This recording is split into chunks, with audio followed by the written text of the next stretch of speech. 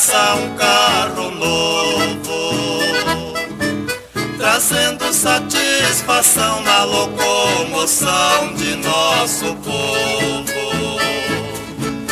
Devido ao grande progresso, tem via de acesso por todo lado.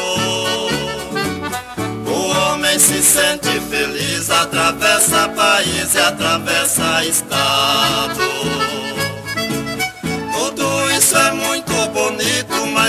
Esquisito e comovente. Saber que a condução é a destruição de muita gente.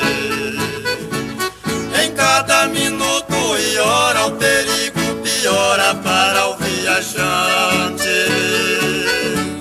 Deixando seu rastro de dor, o carro matou tanta gente importante.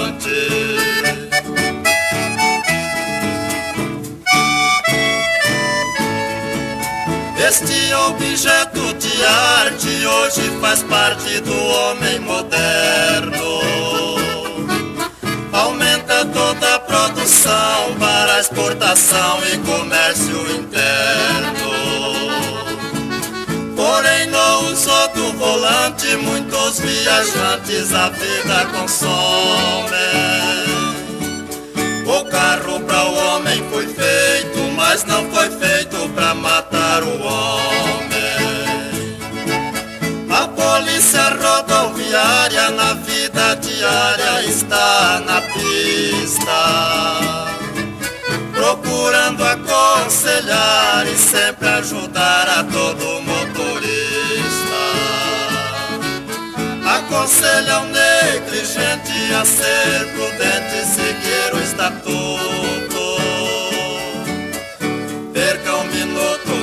Vida, mas não perca a vida em um minuto.